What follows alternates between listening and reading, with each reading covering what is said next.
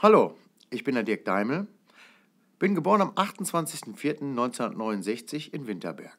Ich bin eigentlich über das Tätowieren zum Schauspielern gekommen. Ich habe mal Anzeigen gesehen, dort wurden Schauspieler bzw. Kleindarsteller gesucht, ähm, die tätowiert sein mussten, habe ich mich einfach mal beworben und bin genommen worden. Eine Kleindarstellerrolle hatte ich zum Beispiel bei Alles, was zählt, eine Gastrolle. Dort musste ich mal wieder einen Bösewicht spielen.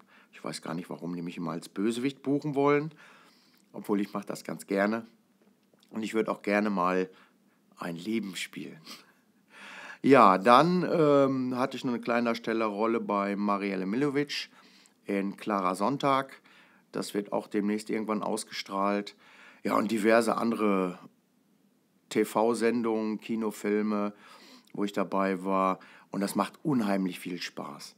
Wenn noch Fragen sein sollten, bitte gerne bei mir melden. Ich antworte in der Regel sehr schnell zurück, würde mich über das ein oder andere Angebot freuen und sage bis demnächst mal. Ciao. Fast forward, it's gotta be real big.